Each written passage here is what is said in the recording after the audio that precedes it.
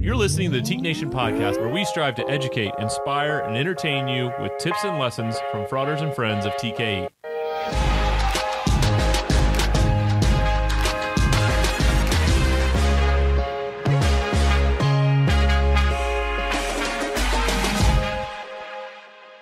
Hello, Teke Nation. It is Alex Swenson, and this is the Teke Nation podcast. So glad to be with you. I am flying solo today. No Donnie, no guest, just raw, pure, unfiltered Alex, which, uh, if I know our listening audience, I know gets you all very excited. So uh, you are welcome for that. Going to keep things pretty short, smooth, simple here this week. I know we are on the uh, the biweekly conversation. Had the opportunity and the pleasure to speak with Bruce Melchert a couple weeks ago. I hope that you took time to listen to that. That is a man who has uh, just an, an incredible amount of passion for Teke, but also knowledge and stories that very few other individuals in this fraternity have. So, if nothing else, it was a an extreme pleasure, a great opportunity to be able to sit down with Bruce and have that um, have that conversation. But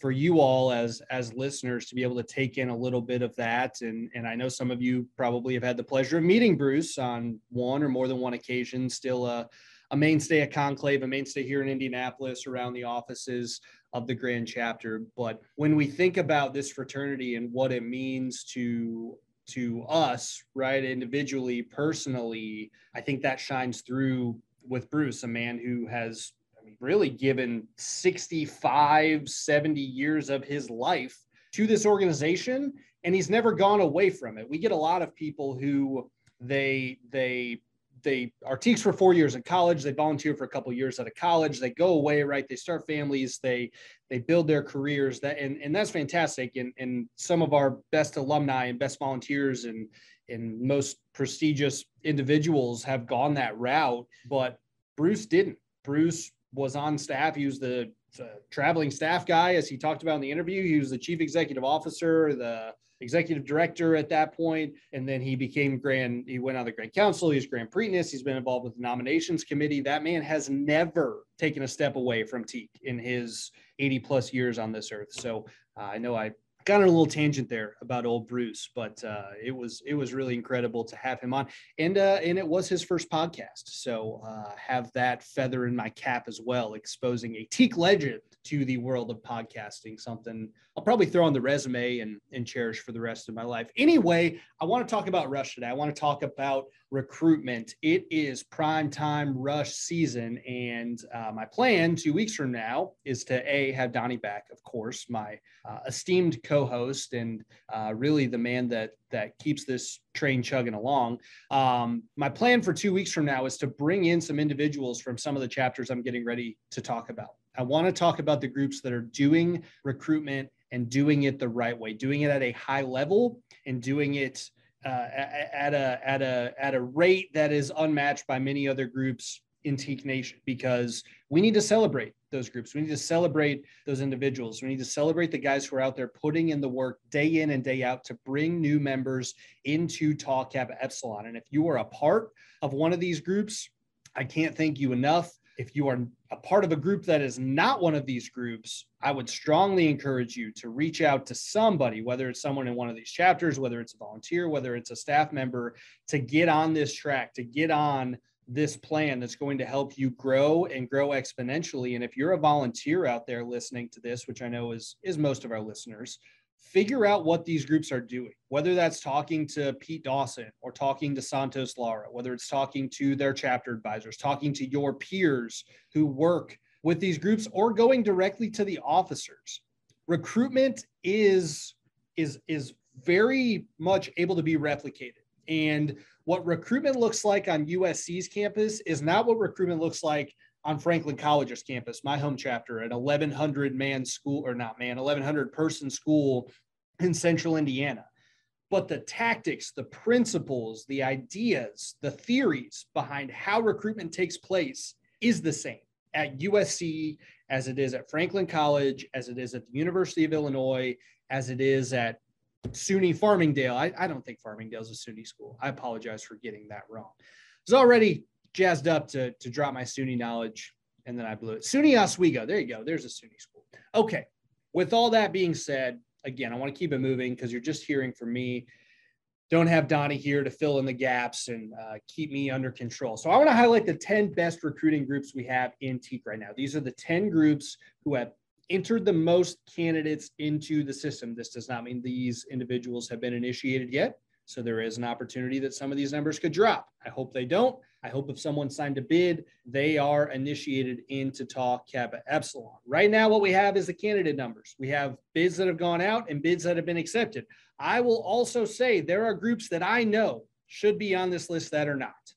Looking at you, Lambda, University of Wisconsin, looking at you, Beta Zeta, boys down in Ruston, Louisiana, looking at a few others as well. I know there are groups that should be on this list that are not on this list, but this is the only data I have to go off of.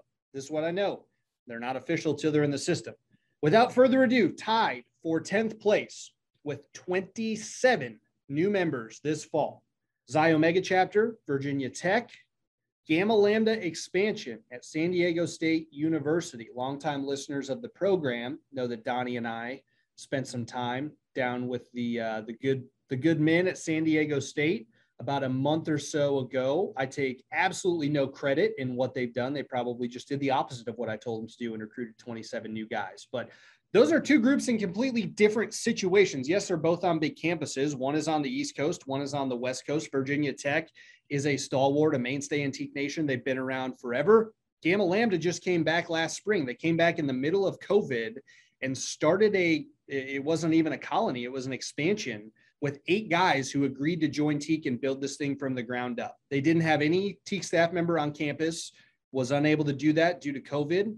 Huge credit to Victor Casanova for building that core group of eight guys. Huge, huge credit to their, their alumni, Dave Behar, Jonathan Ratter, uh, Dean Ross Chesler, who's been very much involved. Cannot give them enough credit for keeping the train moving and keeping those eight guys focused. And for them to go out and get 27 new members this this fall after starting with eight it is a significant achievement. So a ton of credit there. And of course, the guys at Virginia Tech who just kill it every year in Rush, kill it every year with St. Jude.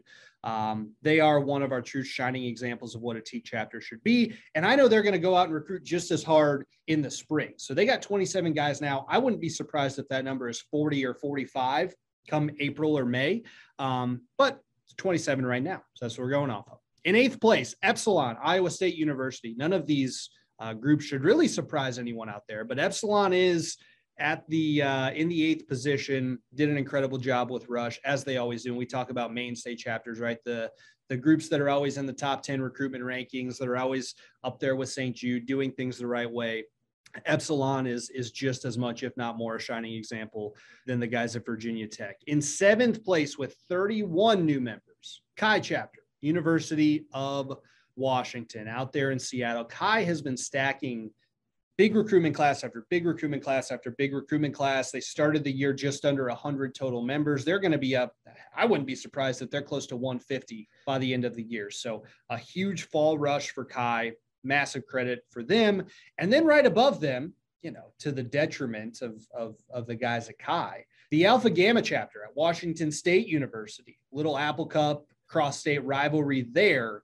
Alpha Gamma at Washington State with 37 new members. Uh, great to see them in the top 10. Great to see them continue to recruit at a high level. Uh, beautiful house there in Pullman. Good friends of mine, Kyle Erdman and Danny Klopfenstein, both alumni from the Alpha Gamma chapter. Uh, Kyle recently uh, stepped down as Board of Advisors chairman. So love you, Kyle.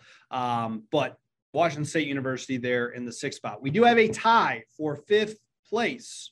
Alpha Rho, University of Rhode Island, Delta Gamma, University of Connecticut. Couple of Northeast groups there. A couple of new groups to the uh, to the rankings here. The guys there at UConn have turned things around significantly in the last few years. There was a time uh, three or four years ago when when I don't know if they had 38 guys in their chapter and now they're putting 38 up there in a fall class. They're uh, they're not going to stop either. They're going to keep pushing, and they are going to get over 100. They are going to uh, put big, big numbers on the board this year. So really cool to see them. Um, great pizza there in New Haven, Connecticut, as well. It is it is my hope and my goal to one day have an opportunity to both explore the Delta Gamma chapter at UConn and then explore New Haven and go eat a bunch of pizza.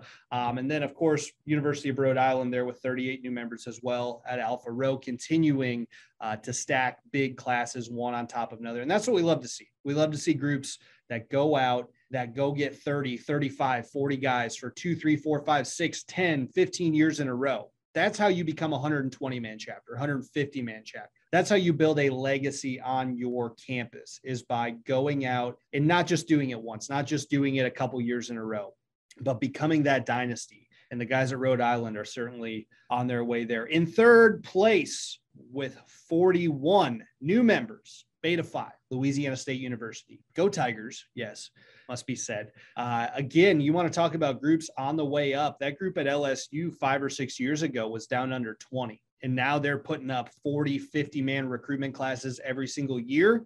That is significant. And again, that is another group that recruits hard in the spring. That's another group. I mean, we could have five, six, seven, ten chapters over 50 initiates this year, which hasn't happened I don't know, and I don't know how long. You have to look back. Bruce probably knows. Look back at the Teke history books, but um, LSU repping the SEC, and then right above them in the second spot, also from the SEC, also from the Southeast, Beta Lambda at Auburn University. That's a chapter that has worked their butts off in the last two or three years to get where they are now. I think they were in the 30 range, 35 range last year. They have 46 new members on the books right now, and they are going to keep pushing as well. They'll be over 50 easily. And if anyone from Auburn out there is listening, I give you all a ton of credit. I know we've spent some time with staff members down there. I know there's a lot of volunteers who have dumped a lot of time and energy and effort into growing that chapter. And for them to uh, top the, the recruitment board here, just shy of the number one spot, which we'll talk about here in a second,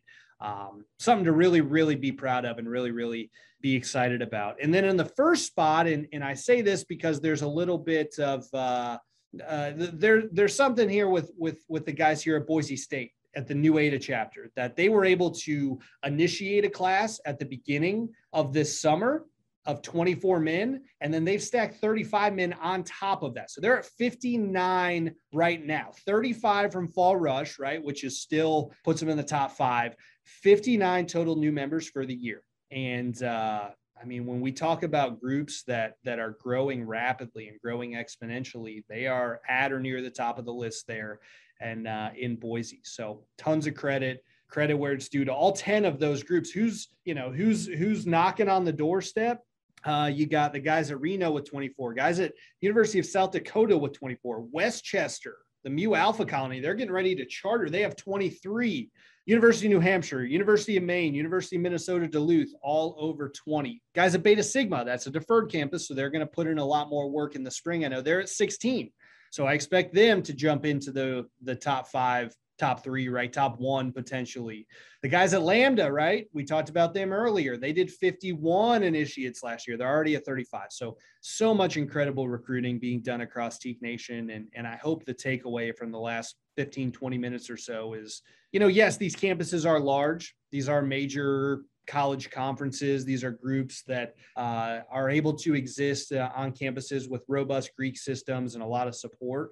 But that doesn't mean that if you're on a campus of 1,500 people, you can't take the same principles that Beta Lambda applied to go out and get 46 and go get your own 20 guys, go get your own 18 guys, go get whatever number it is that's going to put you over the top. Because I'll say it again the principles, the theories, behind how we recruit or why we recruit, sorry, and the tactics behind how we recruit, those are transferable you can replicate those on all 220 campuses across this country that have a Teke chapter colony on them, and you can find success. So if you're looking for that extra nudge, I just gave you 10 chapters plus a few others that you can go to for that information. I just gave you groups where you can find out who their chapter advisor is, or who their their grand province advisor is, who their board chair is, who their rush chair is, who their Prytanis is, and ask them, how did you do it? How did you get 46? How did you get 38? How did you get 21?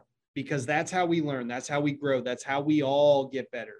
That's how that rising tide raises all of the ships. I also We'll continue to advocate for fired up training. We have over 560 men who have been fired up certified. That number should be over a thousand. That number should be over 1500. There's no reason that every single member in Teke should not go take that training because it's going to teach you something. It, you might not you might not walk away with six pages of notes, but you'll walk away with a couple thoughts, with a couple ideas you had not previously had.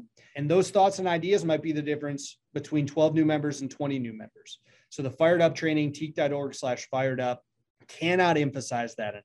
I cannot put that out there enough times. And I'll tell you this we have about 1,500 new members in Teke right now as we sit here today, 1,500 candidates.